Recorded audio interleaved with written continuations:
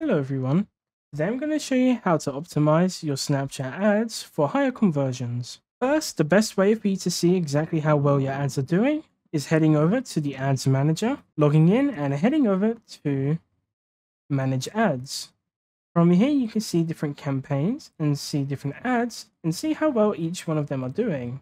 Also, if you have Snap Pixel added to, for example, your website, you'll be able to see if anyone has, let's say, for example, added anything into their cart, how many people have viewed the website, etc. With the manage ads, depending on what you are advertising, you may need to do different ad types. You can look through your campaigns or your ads, depending on what you've made, and see which one has done the best and copy the format of ad that you've made for that ad. So make sure to use the correct format of ads for whatever you are advertising. And that's basically it. If you have any questions, feel free to ask them in the comments below.